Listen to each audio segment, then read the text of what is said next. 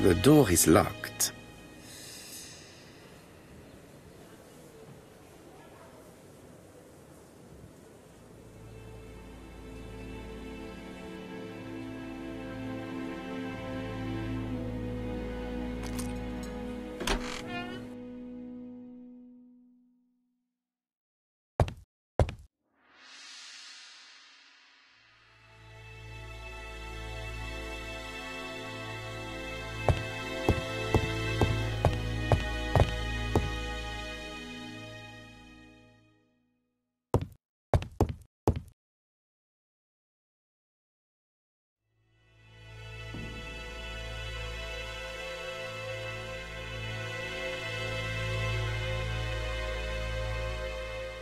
This interior is very simple.